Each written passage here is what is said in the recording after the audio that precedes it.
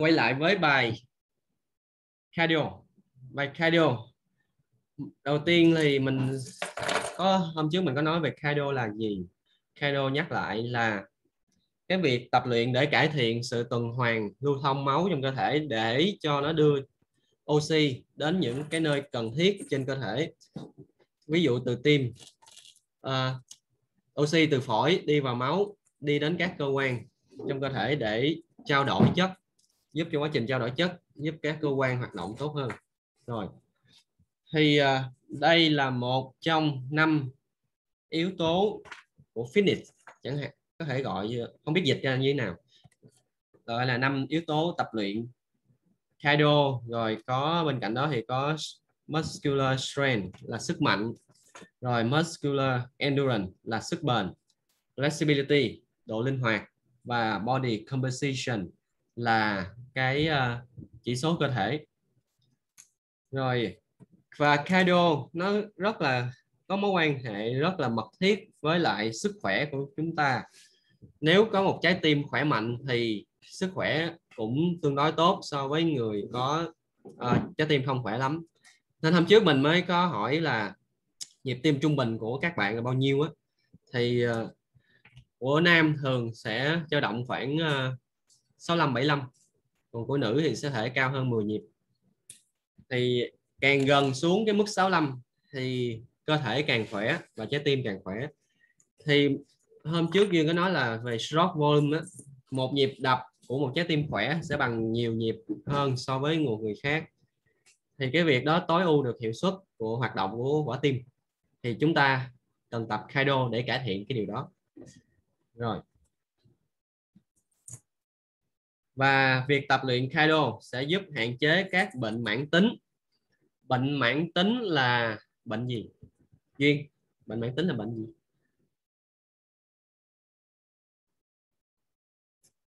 Hello. Là mấy bệnh về huyết áp đó hả? À, bệnh mãn tính là bệnh huyết áp rồi bệnh gì nữa? À, đau xương khớp này nọ. Xương khớp. Rồi nhắc lại bệnh mãn tính ở đây mình gọi chung là chronic disease nè. Chronic disease.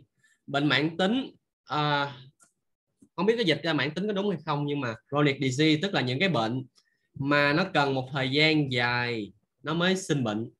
Một thời gian tích lũy xong sau đó mới sinh bệnh. Ví dụ như ít vận động rồi thói quen ăn thức ăn nhanh ăn đồ ngọt nhiều thì dần nó làm cho cơ thể mình mập ra nhưng mà nó không bệnh liền.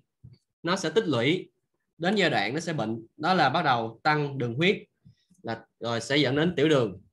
Rồi bắt đầu ít vận động sẽ sinh ra mỡ nhiều thừa cân béo phì. Thì cái đó bắt đầu dẫn đến bệnh gì là bệnh cao huyết áp. Cao huyết áp xong đi kèm theo là bệnh uh, cao huyết áp. Uh, có nguyên có khả năng sẽ dẫn đến đột quỵ. Và bên cạnh đó thì do nặng cân và ít vận động thì cái hệ xương khớp cũng yếu theo do nó không được phát triển. Đó thì những cái bệnh gọi là chronic disease này là những cái bệnh mãn tính kéo dài do thời gian tích lũy do thói quen sinh hoạt cái phong cách sống của mình gây nên. Chứ không phải là do bệnh uh, kiểu cấp tính hay là bệnh uh, gọi sao ta? Gọi là tiện có một cái bệnh đột ngột tới cái đi liền. Đây là một quá trình tích lũy. Rồi và tập luyện cardio giúp cải thiện cho chất lượng cuộc sống thì tất nhiên rồi khỏe hơn mạnh hơn thì uh, mọi thứ sẽ dễ dàng hơn. Rồi. Tiếp theo. À, việc tích hợp việc đưa tập luyện cardio này vào chương trình tập thường sẽ có một số cái lỗi phổ biến mà các huấn luyện viên thường mắc phải. Đó là uh, không quản lý được cái việc tăng tiến của quá trình tập không quản lý được. Các bạn nghe có rõ không? Bên đây nó báo tín hiệu hơi yếu. Hello. Hơi chập chờn. Ok. Tại uh, hình như nó đang chuyển mưa bên gò dấp đang uh, bão sắp tới rồi. Rồi có khúc nào mà không nghe được thì uh, nói ha để mình nhắc lại. Cái uh, mặt gọi là không quản lý được quá trình tăng tiến là sao? Tức là không có đưa độ nặng phù hợp hoặc là, tức là cho tập quá nhẹ hoặc là tập quá nặng, tập quá nhẹ hoặc tập quá nặng đối với từng đối tượng khách hàng khác nhau. Thì cái việc tập quá nặng á, nó sẽ gây ra, dễ gây ra overtraining, tập quá tải đối với đối tượng đó và dễ dẫn đến ờ, bị stress cơ thể hoặc là bị chấn thương vì cơ thể không phục hồi kịp.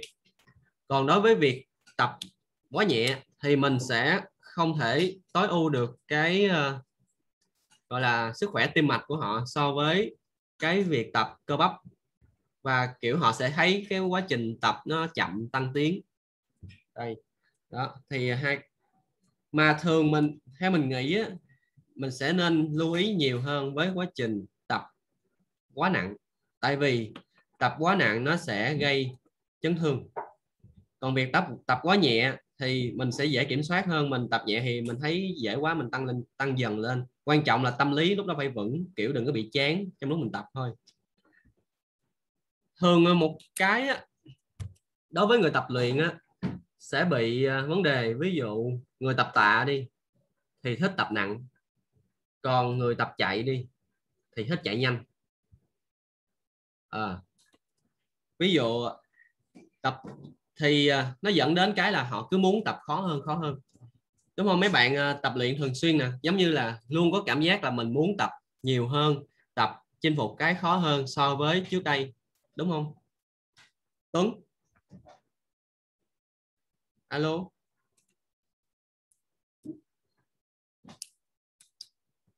Hay uh, Dũng? Tuấn trả lời. Yep ok. Dũng trong quá trình okay. tập trong okay. quá trình tập có thấy uh, giống như vậy không? Giống như là mình luôn muốn chinh phục một cái mức khó hơn nặng hơn. Liên tục liên tục liên tục. Có cảm thấy như vậy không? Thì trong quá trình tập thì có à. thì tăng cái mức tạ lên đúng rồi. Đó uh, tâm tâm lý chung của mọi người tập luyện á, là luôn muốn tập khó hơn để mạnh hơn khỏe hơn. Đúng rồi ai cũng muốn điều đó. Nên nó nhưng mà một cái đó là mình phải hiểu là bên cạnh việc tập thì nó còn có việc nghỉ ngơi recovery nữa. Thì nếu mà mình tập quá nặng mà nó nghĩ không hợp lý á, thì sẽ dễ dẫn đến chấn thương. Đối với người tập tạ thì là do tạ quá nặng. Còn ví dụ như người tập chạy thì là lại muốn ngày càng chạy nhanh hơn cải thiện tim mạch nhanh hơn. Nhưng thật sự cần phải có một quá trình tập luyện phù hợp. Ừ. lấy một trường hợp như ờ, người sếp của mình đang kìm thì anh này đang tập luyện gọi là theo cái kiểu hồi trước mình học có hai ba kiểu năng lượng á, thì ảnh đang tập thuần. Ảnh là dân marathon nhưng mà ảnh hiện tại ảnh đang thế mạnh là bộc phát với lại uh, nói chung là hệ năng lượng số 1, số 2 còn nhớ hệ năng lượng số 1 ấy lộn số 2 số 1 số 2 đúng rồi. Mấy bạn còn nhớ hệ năng lượng số 1 số 2 không? Ly còn nhớ hệ năng lượng số 1 2 hay không? Nhớ xương xương anh ạ. À, một là gì? Một là cái con đường mà từ tạo ra ATP với cả creatine ạ. Rồi đúng rồi. Con đường thứ hai là con đường đường phân ạ. Rồi đúng rồi. Thì uh, con, đường rồi con đường số 3 con đường số 3 con đường aerobic ạ. Rồi aerobic. Đó thì khi đối với người tập chạy chẳng hạn họ thế mạnh là họ chạy con đường số 1 số 2 thì tức là họ chạy được rất là mạnh rất là tốt trong khoảng ví dụ chạy 10 cây đi thì năm cây đầu họ chạy rất là tốt. Nhưng mà năm cây còn lại á, họ gọi là muốn xỉu lên xỉu xuống để hoàn thành năm cây cuối. Thì đó là những người tập kiểu như là hướng về đường số 1 số 2 thì lúc này cái việc nên làm là không phải cứ gắng chạy nhanh hơn hoặc là tập nhiều hơn nữa để mà chạy được nhanh hơn, mà lúc này họ phải giảm cường độ tập lại. Tức là thay vì chạy ờ, đây người ta gọi có cái pace chạy. Ví dụ một cây số họ đang chạy ờ, một cây số có thể họ đang chạy 3 phút hoặc 4 phút. Ví dụ như họ đang chạy một cây số chạy 4 phút thì bây giờ mình phải ép họ xuống một cây số một phải chạy trong vòng khoảng 7 phút tức là cường độ chậm hơn để cho nhịp tim hạ xuống và duy trì cái nhịp tim đó lâu hơn. Duy trì nhịp tim đó lâu hơn trong suốt 5 cây 10 cây số như vậy thì cơ thể nó mới phát triển được cái hệ anaerobic à, cái hệ aerobic. Aerobic là hệ à, oxy hóa ha. Rồi đó là một số cái nói thêm về việc tập luyện tăng tiến, tăng giảm cho nó phù hợp. Rồi, tiếp theo. Thì những lợi ích của việc tập luyện cardio. Lợi ích tập luyện cardio. Thì có rất là nhiều lợi ích để chống bệnh tật, cải thiện tim mạch cải thiện số đo cơ thể và hỗ trợ cuộc sống lifespan. Nói chung là những hoạt động nó sẽ giúp mình việc tập luyện cardio cộng với cả việc tập uh, tạ nữa. Nói chung việc tập luyện thì sẽ mục đích cuối cùng vẫn là hỗ trợ cho cuộc sống hỗ trợ cuộc sống activity trong suốt cuộc sống mình. Như là việc uh, mình đi lên cầu thang đi xuống cầu thang nó đỡ mệt hơn đi làm ngồi được lâu hơn chẳng hạn hoặc là mang vác vật nặng an toàn hơn. Đó thì tất cả mọi thứ đều để cuối cùng là để phát triển cơ thể thích nghi với cuộc sống. Thì tập luyện Kaido, nó có ba phase chính và phụ thuộc vào ba yếu tố. Ba yếu tố để lên một cái lịch tập, một cái chương trình tập Kaido thì sẽ đầu tiên là phụ thuộc vào level fitness của khách hàng, của người tập luyện ở thời điểm hiện tại. Cái thứ hai là phụ thuộc vào cái đánh giá cơ thể xem có bị sai lệch tư thế hay gì hay không trong cái buổi assessment fitness assessment. Dựa theo kết quả này thì mình mới set up cho một cái lịch tập được. Rồi cái thứ ba là có bất kỳ một cái giới hạn một cái uh, yếu tố nào ngăn cản quá trình tập luyện của họ hay không. Như về sức khỏe ví dụ họ bị cao huyết áp phải tập khác. Ví dụ họ bị uh, suyễn thì họ phải tập khác. Đó thì mình phải lưu ý những vấn đề về bệnh lý để lên một chương trình tập cho nó phù hợp. Thì một chương trình tập cardio sẽ có 3 phase. Thì có warm up, có condition và cool down. Warm up và cool down là để khởi động, đưa cho cơ thể chuẩn bị đưa vào quá trình hoạt động. Còn cool down là sau khi thực hiện bài tập, đưa cơ thể trở về trạng thái bình thường. Mà cái này liên quan nhiều đến cái hệ giao cảm với đối giao cảm. Hôm trước mình có học. Rồi. Thì warm up. Ở cái warm up phase này á mình sẽ có hai kiểu warm up chính là general warm up. General warm up tức là nó không liên quan gì đến nó là không liên quan gì cũng không đúng mà là những bài tập ít liên quan hơn so với, với so với cái buổi tập chính. Ví dụ bữa nay có squat bữa nay có pull up có deadlift. Nhưng mà mình không phải vô cái mình uh, squat liền mà mình gọi dùng general warm up trước. Ví dụ đi lên máy đi bộ. Đây ở đây người ta có ví dụ. Ví dụ bằng việc đi bộ đi bộ trên máy đi bộ hoặc là đạp xe. Ngồi đạp xe trên cái máy đạp xe. Khoảng uh, 5 10 phút để cho nhiệt độ cơ thể tăng dần bằng cái việc là tim bắt đầu tập nhanh hơn đập nhanh hơn vận chuyển máu nhanh hơn thì nó làm nhiệt độ cơ thể tăng lên và bắt đầu cơ khớp được bôi trơn để bắt đầu chuẩn bị cho quá trình tập luyện. Đây là lúc mà cái hệ giao cảm bắt đầu làm việc. Duyên còn nhớ hệ giao cảm không? À, nó làm việc gì trong cái warm up này?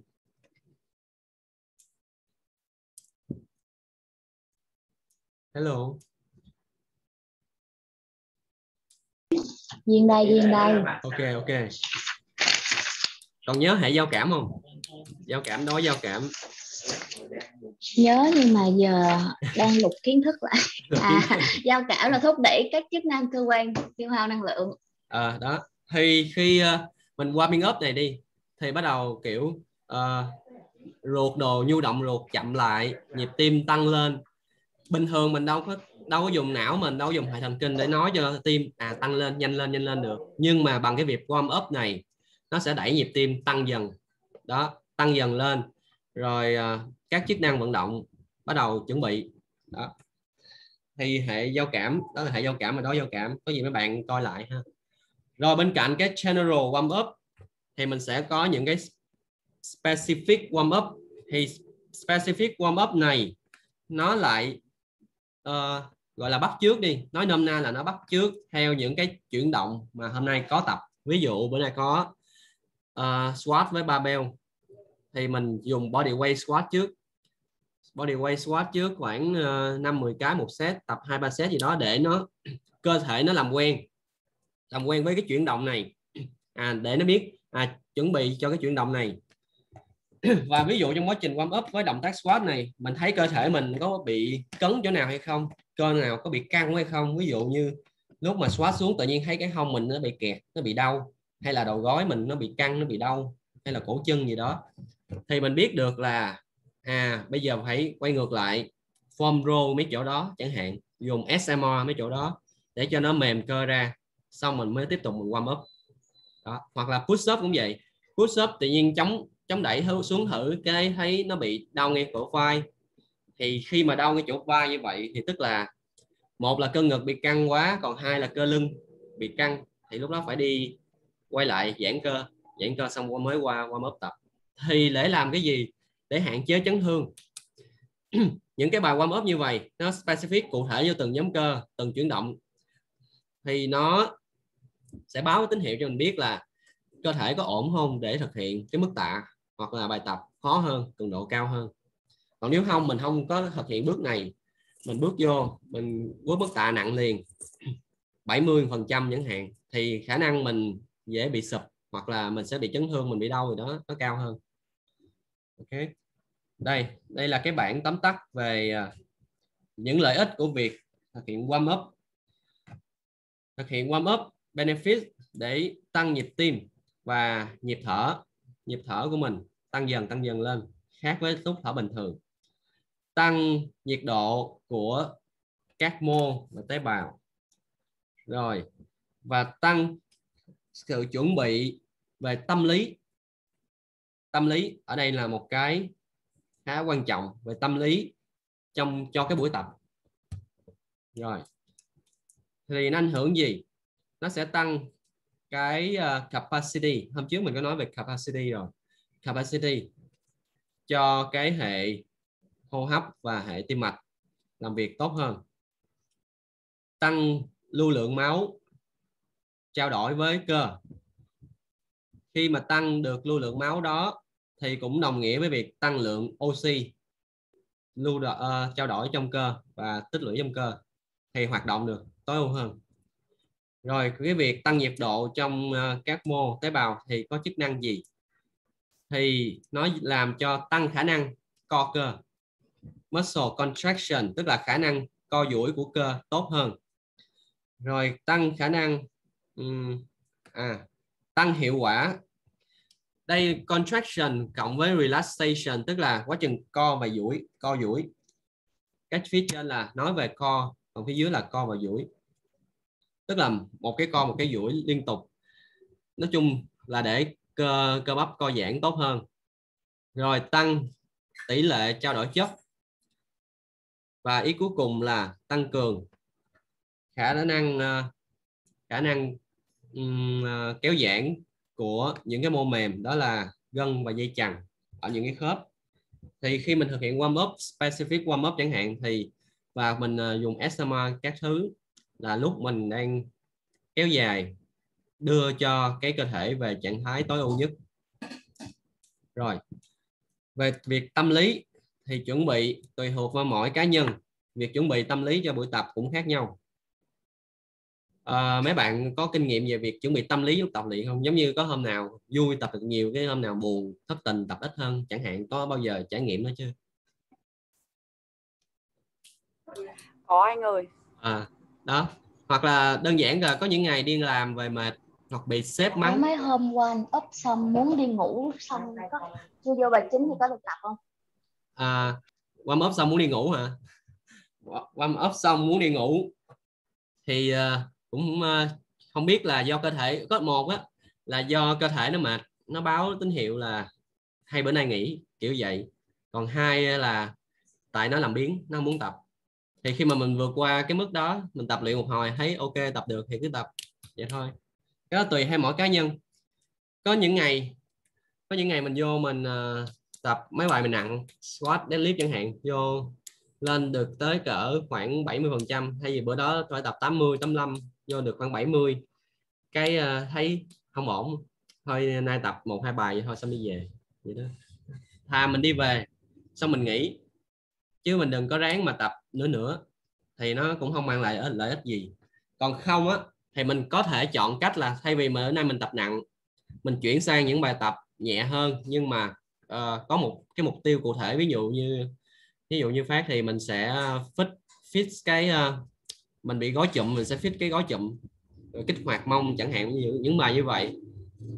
Thì để cơ thể nó không bị stress thêm nữa. Đó, thì cái việc để cho đầu óc nó thoải mái. Mà cái việc này nó còn phụ thuộc vào công việc, phụ thuộc vào giấc ngủ, phụ thuộc vào tâm tâm lý lúc đó nữa, nhiều thứ lắm. Nên phải giữ được một cái tinh thần lạc quan thì mới tập luyện tốt được. Thì bữa hôm trước mình cũng nói là những người mà lạc quan á, thì tập luyện sẽ tốt hơn là so với những người suốt ngày để ý cân nặng rồi bị stress về cân nặng của mình thì sẽ khó khó tập luyện hơn. Không thể, không phải là không tập được nhưng mà sẽ khó có kết quả hơn. Rồi. Thì cái việc warm up này thực hiện trong vòng 5 đến 10 phút với whole body, tức là với các chuyển động toàn bộ cơ thể bằng bằng việc sử dụng uh, dynamic warm up dynamic warm up movement.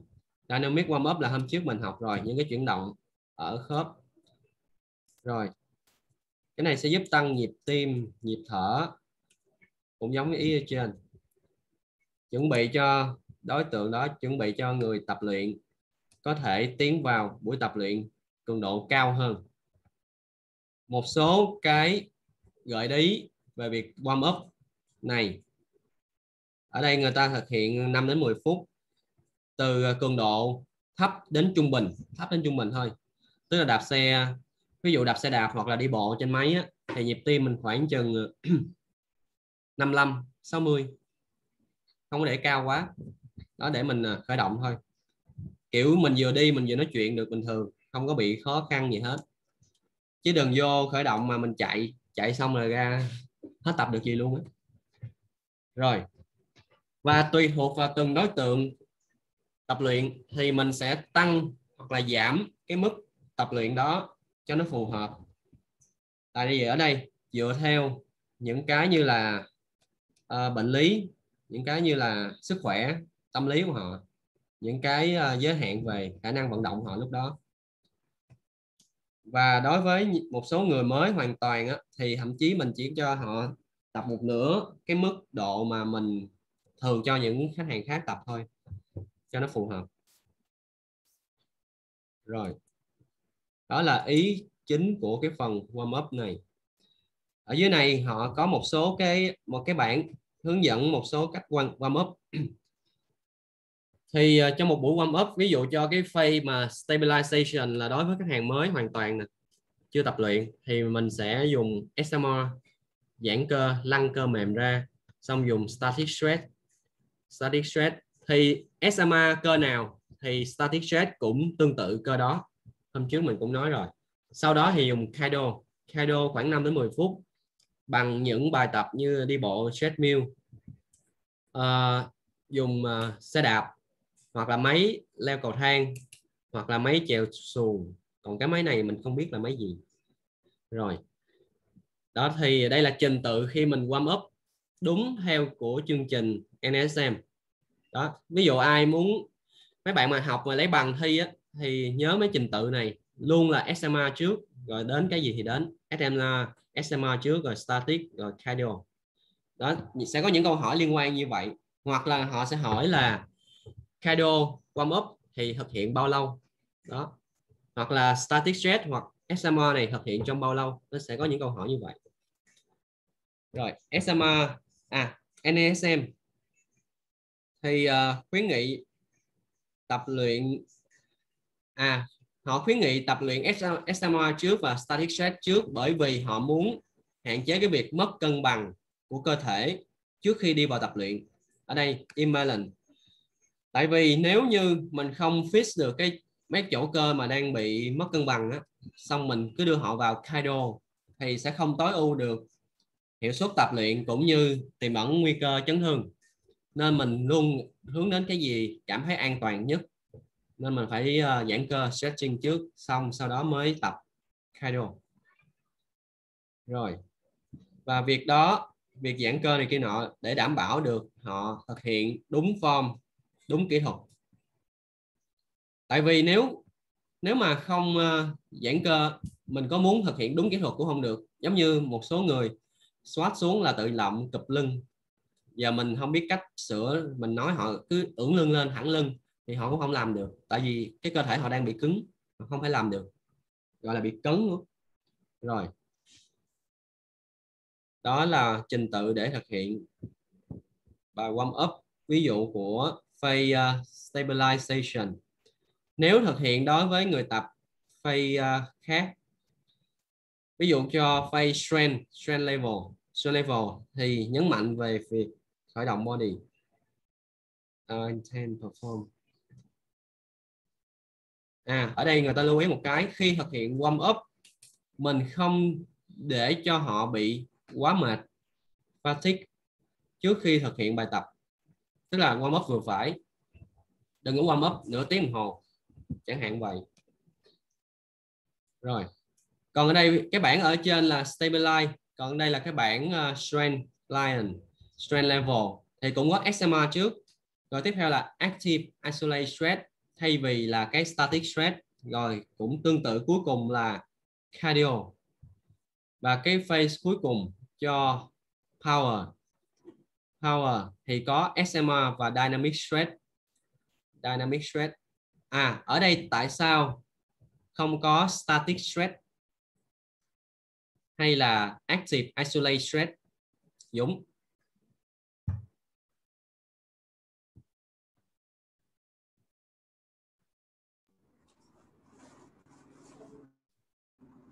Giật lắm không nghe gì đâu. Giật lắm hả? Giật bởi lắm. vì là bởi vì đây là À. người ở mức độ ừ, power rồi nên là có thể chuyển qua sang dynamic luôn ý ạ. À ok đó là một ý. Duyên. Duyên ở đây tại sao không có static stress? Duyên không biết không không phải chuyên môn của Duyên. Ủa hôm trước dạy rồi mà. Rồi không có static stress ở đây bởi vì hôm trước mình có nói việc dùng static stress đôi khi làm giảm hiệu suất tập luyện đúng không? Và cái này là ở phase power tức là mấy người này đang hướng đến cái việc cải thiện performance cái ờ, hiệu suất tập.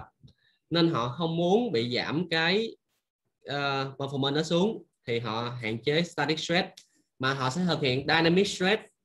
Và nếu trong quá trình thực hiện dynamic stress này họ thấy được có những chuyển động bù trừ trong cơ thể, thì lúc đó họ mới quay ngược lại. Họ dùng SMR hoặc là static stress để cải thiện. Đó là trường hợp bất đắc dĩ, họ mới phải quay ngược lại, họ dùng static stress.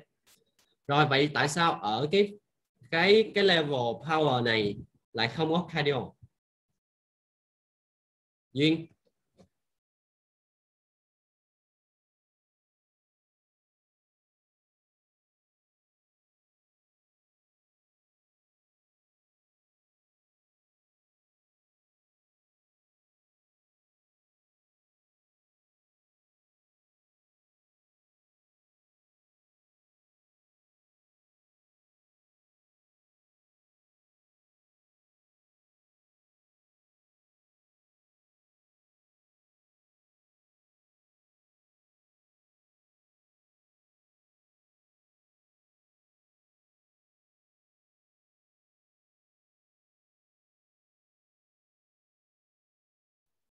Ok. Có có nghe rõ chưa mọi người? Ok, rồi anh ạ Ờ, nói ờ, vừa đây anh ok nãy mới bị văng ra không hiểu tại sao. Rồi à, tại sao ở đây không có cardio? Tại sao ở đây không có cardio?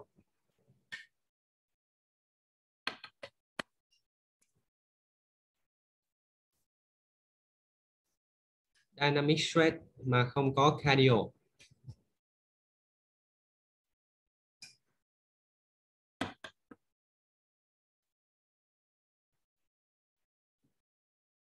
duyên trả lời được không? Học gì học? Trả lời được. Ủa, bình thường à, khởi động có dùng dynamic stress không?